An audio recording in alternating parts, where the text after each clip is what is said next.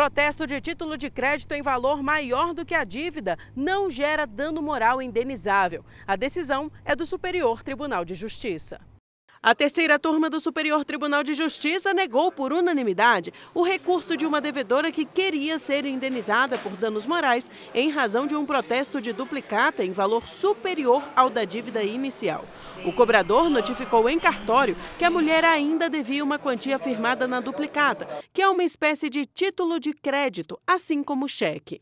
No caso, foi acertado o valor de 6 mil reais entre as partes pelos serviços de engenharia contratados para a reforma de um prédio prédio. Posteriormente, a devedora foi notificada de um protesto de 17 mil reais. Por conta disso, ela entrou na justiça e, além dos danos morais, pediu o cancelamento do protesto. O caso veio parar no STJ. Segundo a relatora do recurso, ministra Nancy Andrighi, o protesto irregular de título pode gerar uma condenação por dano moral em razão do devedor ficar com o nome sujo. Porém, a magistrada destacou que, nesse caso, não houve agressão à reputação pessoal da mulher ou à sua honra e credibilidade, uma vez que o débito já existia. O protesto foi cancelado, mas o pedido de indenização foi negado.